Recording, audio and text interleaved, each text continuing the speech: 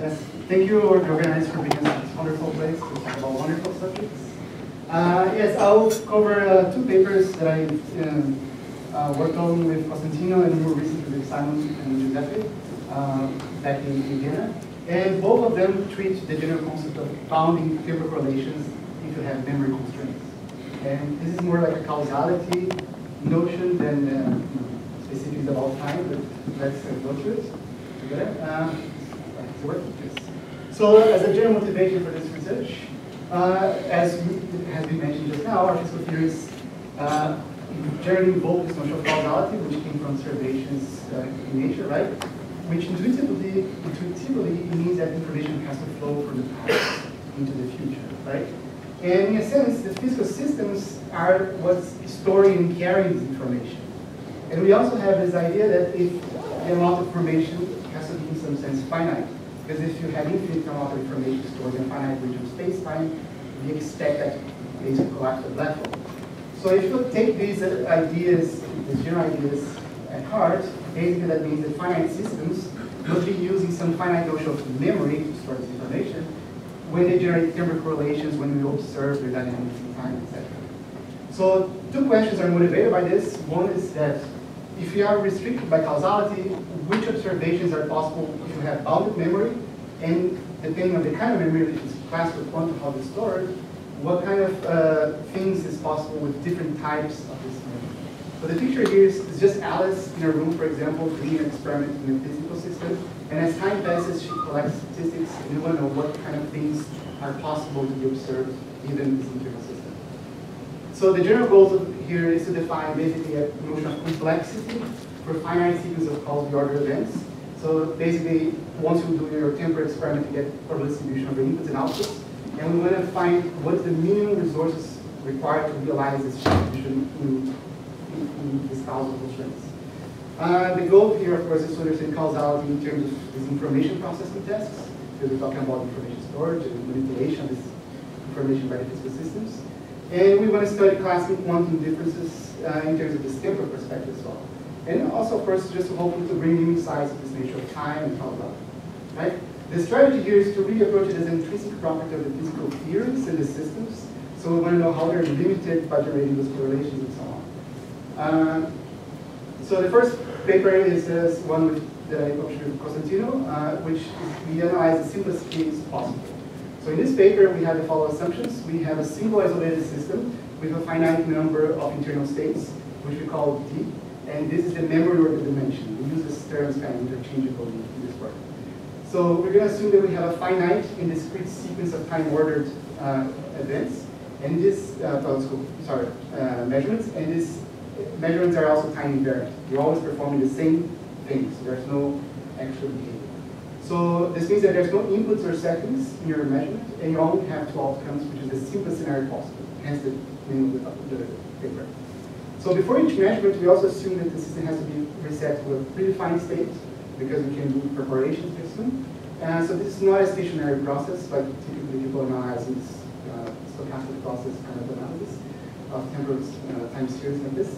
Uh, so the system has to, in a sense, assemble correlations from scratch. And we also assume there's no free time evolution between measurements. So we want to capture all the dynamics coming from the invasiveness of these measurements, even in the classical case. Uh, the intuition here is that I, I, give you a mystery box, which has only a single big red button on top that creates a measurement, which whatever internally that means. And you have a reset button on this in the front, and you can press the reset button, press measure button as many times as you want, and you can collect statistics on these temporal, on these bit streams, right? And given that you've got a statistical distribution, what looking at distribution could tell us about the internal memory of what's happening inside these blocks, right? For now, we don't look at the whole distribution, we look just at individual sequences one at a time. And to model this kind of behavior of these objects, we use finite state automata.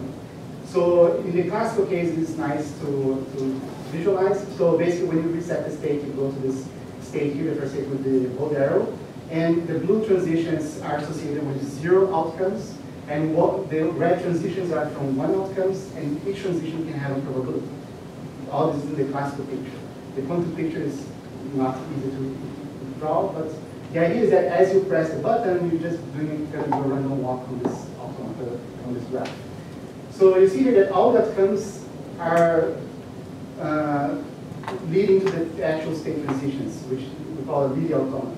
Physically, this means that the measurements are invasive, so this is essential to capture quantum mechanics behaviors.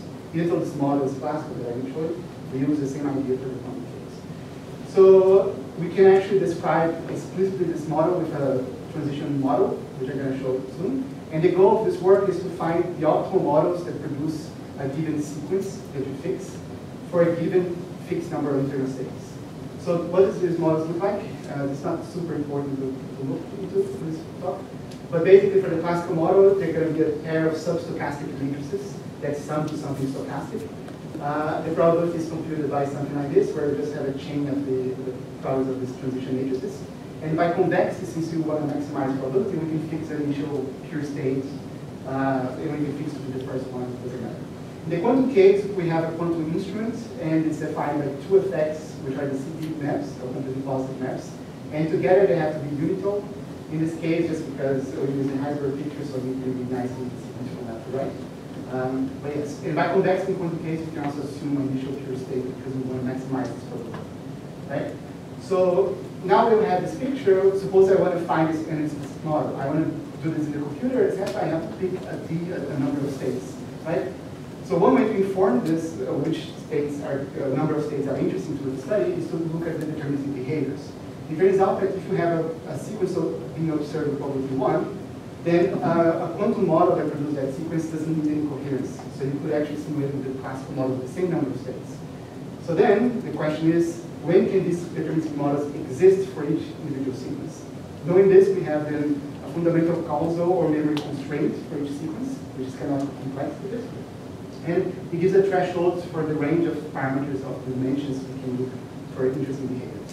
So this defines the deterministic complexity, which we introduced in this paper, which is a sequence, uh, which is a property of the sequence, which is the minimum number of states d such that there is a, a model, a classical quantum that such that probability one is achievable right?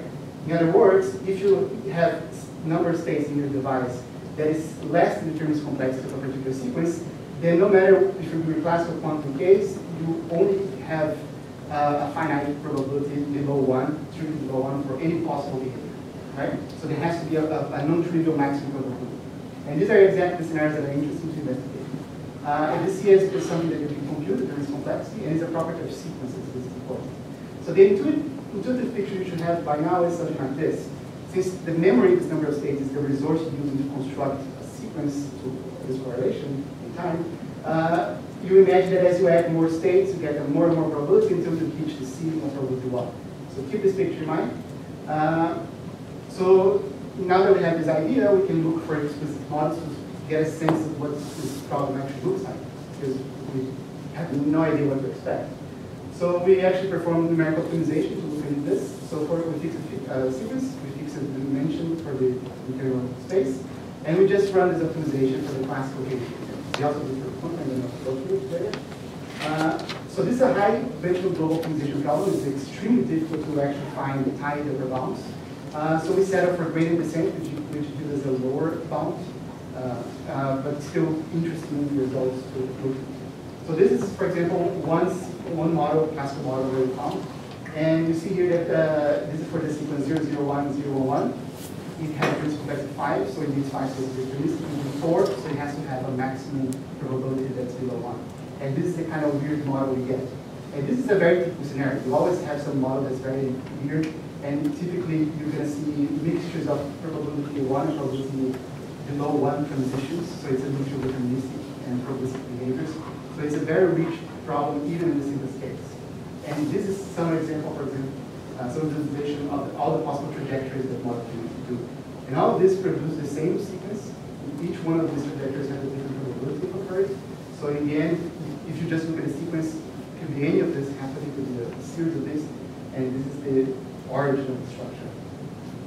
So after we looked at data, one thing that was pretty interesting is that a particular class of sequences seem to be very important and special, which we call the one-tick sequences, because it looks like a kind of a clock thing would do, right? No tick, no tick, and in the end the clock ticks. Uh, and we have a conjecture, because we couldn't prove this yet, that the optimal models for the sequences is actually very simple and have the structure we call the multicyclic model. Uh, multicyclic because you have a series of cycles, and it's enhanced because it has this little tail at the end. So you have a bunch of zero transitions, and only again you have a one in the end of the tail. And this is actually nice because it's a model we can parameterize directly. We can find an analytical expression for the probability and find the optimal. Uh, and it's also interesting because this particular model can be used to construct number bounds for the other sequences. So this is the main conjecture of this first paper, which is the one-tick sequences actually can be used to compute the number bound for all other cases. And it works like this. You have your sequence uh, that you want to compute, the bound. You put the same number of states for this probability. And here you have the one-tick sequence, right? But the one-tick sequence has a length of the size of the previous complex of the sequence and you use the enhanced multicyclic model for this particular thing here with this t to compute the probability. And remember here that this t here is a very complicated structure, and this enhanced multicyclic model is something very simple, like I showed in the previous slide. Right? So to go through it a little bit just very quickly. So suppose we have this sequence, right? Risk complex 5, 3 for example, so this is going to be a, there has to be some uh, non-trivial probability here. We replace the number of states and the deterministic complexity here. And then what we get is you have something that's very complicated here, like those crazy models that I showed in the nation, uh, with three states. And here you have something very simple that you can compute analytically. And if you verify through the data set we have, all this seems to match pretty well. So this is a conjecture, we don't have a proof of this, it's very deceptively simple. But one thing that's cool is that if this conjecture is true, we can prove it, we prove it, then for all classical models, there is a universal classical bound of probability. If you don't have enough states to be deterministic, so this model is complexity sequence, then the maximum probability can actually occur is 1 over e, which is about 37%. And this is true for any self-deterministic classical case. So alternatively, this acts as a dimensional weakness for classical systems. If you have uh, a probability that you observe for a sequence larger than 1 over e, then you know that the number of states of whatever box, classical box is relating this, it has at least these c states, which is a very interesting result. So remember that picture before? That's the intuition you would rather go up. What we find is that there's this sharp transition between subdeterministic and deterministic behaviors under this, this threshold, which is pretty interesting. Uh, we also look at a quantum case, uh, and I just go briefly to it. It's kind of hard to explain how we do the optimization. But you, as, it, as you would expect, you see a lot of uh, advantage in the quantum case here on top over the classical models. The classical models are confined by the one over e bound, but the quantum models generally are not Note, notice that here, for the quantum case, we also have the choice of how many uh, operators, let's say, you want to use to specify the CP maps for from 0 on 1. And we, we also investigate this for 1, 2, and 3, and we see that there's no advantage, basically. We see that the lines are basically uh, coincident, except at the end, which is basically numerical error because the space is larger, it's harder to optimize. We don't know why that's the case, why you want to keep the purity and do everything with. It's really nice to prove. Uh, yes. Uh, we also had this intuition before, right? That since the memory is the, is the resource, if you have less, then it's going to be more difficult to generate a certain sequence with this resource. So if you take two states off the deterministic case, then both classical and quantum problems drop significantly, and now even quantum mechanics struggles to, to saturate this one really bad. But some sequences still do well. You also have this weird jump here, which I'm not sure if it's meaningful. But uh, it's interesting that in this case, it seems that some scenarios now become identical in the quantum and classical case. So if we remove sufficient number of states, it feels from this, we don't have an understanding of this, that the, the quantum notation disappears somehow, which will be interesting to understand. And we also investigated with an ansatz the one-tick sequence in the large limit, and we have a, a, an example for this for the quantum. And we managed to optimize, and we don't seem to have a, a non-trivial upper bound for the quantum case as well. So this is a classical behavior. Right, so this is the first part. How much time do we have? You have 15 minutes. Ah, perfect. Maybe uh, so the second part, we apply the same ideas, but now for the, for the concept of trying to characterize the minimum dimension compatible with the statistics you observe in an open quantum system scenario. So you have your, your little probe system like a qubit, and let's say it's interacting with another qubit. And if this qubit is your environment, your effective part of your environment is just interacting with can we put, put a bound on the temporal correlation that you could observe when the environment is carrying information from the past to the future for your system or for your setup measurement? So this is kind of what it looks like. We assume we have an effective environment because the environment is way larger, but the part of the environment you're acting with has a dimension E, and you have a probe system with dimension ds. So we assume, as before, we have a discrete time evolution to a time-dependent unitary, so it's just like a, to unitary to do the, this change. By convexity, we can also fix uh, the initial state of the environment to be something. We don't know what it is, but we can uh, deal with this in the paper. Uh, and also, the state on the probe here, we assume we always prepare the same state, let it evolve together uh, with the environment through this unitary, and then we perform a measurement of the again and collect the sequence out of this result. Right? So it's a kind of similar picture. And yes, so if we group together this operation in the middle here, right, when we do the identity on the, the environment, we can just construct a, a measurement and recuperation of this probe state, and we have this uh, these operators. And then basically what we're trying to optimize here is this uh, function here, which is the probability over multi-time measurements, right? Given a certain environmental dimensions in assumption. And we just have this uh, intercalation of unitaries and measurements here. Uh, and this is the optimization we're going to do. Uh, and here in this case, we actually want to do a, a strict outer approximation. We don't want to just gradient descent. So we really try to find a way to construct an SDP that can solve this. To do this, we went to the tridimensional Gaussian representation of the channel, like was mentioned yesterday by Marco.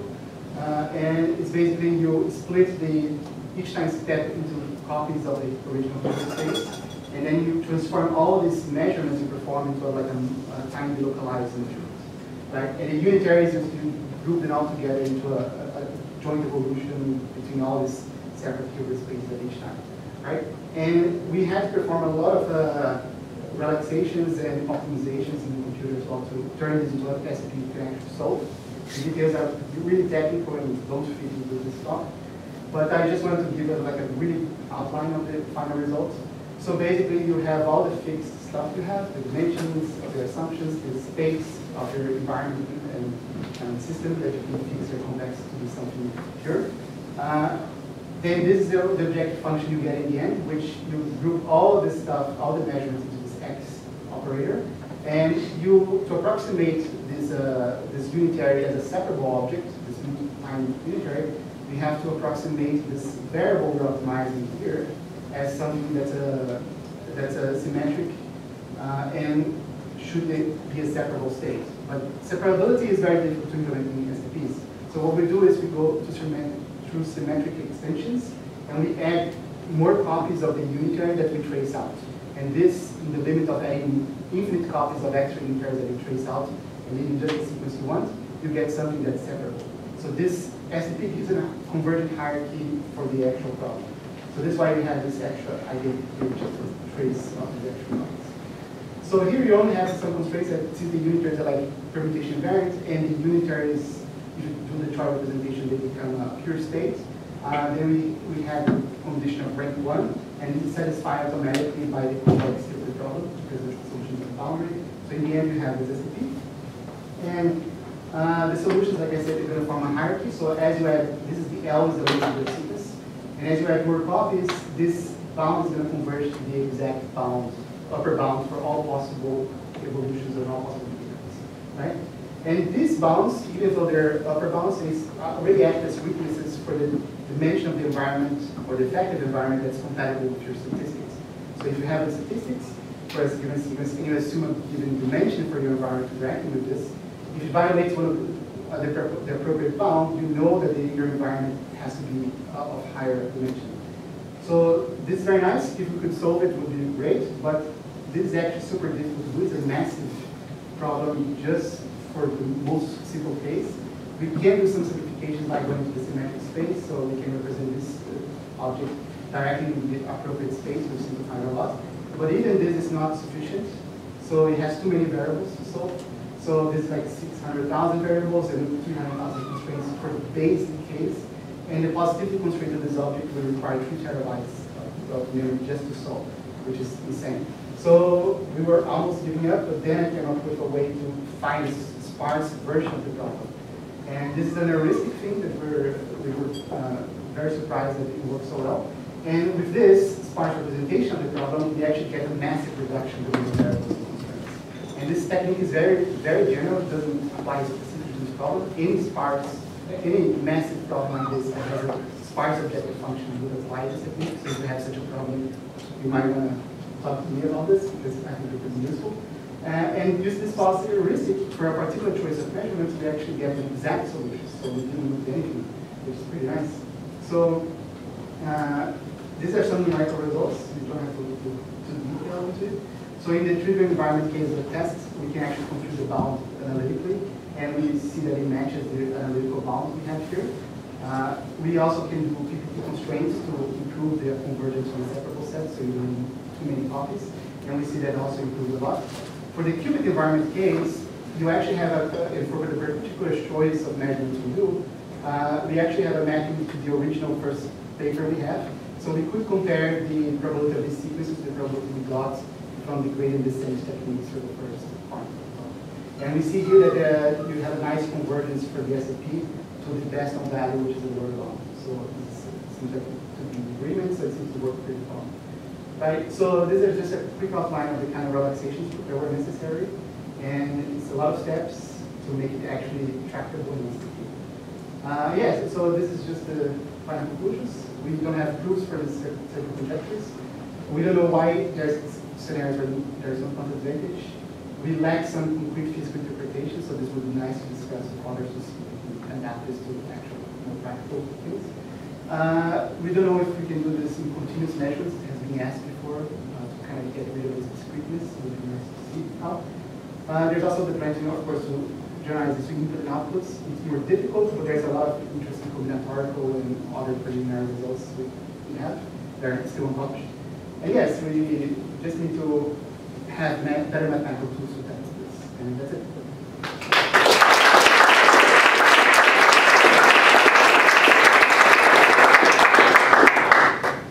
That was a truly fascinating talk. Uh, Well, if I ask a question quickly. So, what struck me in the first part of, okay, thank you. One thing that struck me in the first part of your talk is the superficial analogies between the memory and a learning machine. It looks like what's in the box has been some pre-trained uh. In, in fact, discrete state machines can be used to represent recurrent neural networks. So is there a way to phrase that first question, probability distributions, having memory as a learning machine problem? Yes, you can, uh, because the probabilities are also very similar, as you uh, probably are familiar. Uh, the difficulty here is that if you think of it as learning, I give you a sequence and you try to learn the outcome model, right? Uh, that it's a way to, to frame the problem, but it's not exactly capturing the essence of the question. Because is this really, we want to see what is the fundamental limitation of the field. If you in a learning picture, you wouldn't impose, for example, the dimensionality constraint. You can put many parameters and then you just find the option. So there's no fundamental connection to the, the memory constraint or the, complexity of your actual device or the training or the number of parameters and the actual sequence. So quantifying this is something people haven't really done very precisely. Right? So I think that the, the formalism is very similar, but the questions we ask are No, I not. see the question. Yeah. Some of these, you see about physical realization of Yes. provide a route to that. Yes. Uh, there are some groups that work with similar things, like in Singapore, like the Millennium Group, and there they, they approach this into more like a, a learning or like a modeling technique. So you have a distribution coming from stochastic process, and you want to find the representation of that in classical quantum that cannot predict the future of that. So that's a different. But here, the question we ask is really like, uh, if we fix the dimension, what limitation that imposes on the space of physics, which is more like a quick physics foundation view of it in my, my perspective. So, Thank you for such a lovely talk. Um, I I wondered, so in the first part, yeah, Yeah. you, you, uh, um, you derived this one over read limit Yes. uh, a consensus didn't have enough space in it to sort of have information to produce consensus. You said that doesn't apply to quantum systems. You said so. Um, Mhm. Is there an intuition for why a quantum system has an advantage distribution that with coherences you have available, right? You can stash information in the coherences and then restore it later. Uh, I'm not sure if I still have the slide here. Uh, I probably not. I I had a slide for how to do optimum model for the one sequence complicated found, violates is found. And it's, that's the behavior you see. You see that you stashed a lot of stuff in the business coherences and with the interference, you can kind of restore the probability, so you don't have to use Uh, in the case, you always make a mistake and you always have to carry same mistake forever. But in mechanics, you don't have to this. So I expect it then. But it, isn't that almost having more information? Yeah. So wouldn't you then just expect the transition to suddenly becoming deterministic to happen, but just? Yeah, exactly. I we uh, originally expected quantum mechanics would have some advantage like that, that we would even have some determinicity. But when we formulated the difference complex and looked at the literature a little bit more, we found that this results that if you have a deterministic distribution, uh, uh, a deterministic model, quantum model that produces a thing, then you have an equivalent model that's classical that does the same thing. So with this notion of complexity, then it's pretty clear, and we have a little proof in the paper, that if you don't have that enough memory, either classical quantum, you're gonna have some subdeterministic behavior. Now, why there's an advantage in general, I think I don't have a very good intuition. Uh, it also ties together with that, uh, the that I mentioned, that if you remove the states, quantum mechanical advantage appears in some cases. So it would be very difficult to understand why. I think that would answer the question and understand better where the information is in the Great, thanks. Well, that's, that concludes the